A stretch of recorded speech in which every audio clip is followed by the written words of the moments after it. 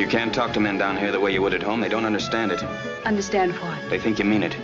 Mean what? Doesn't it bother you at all that you're married? What I want to know is, does it bother you?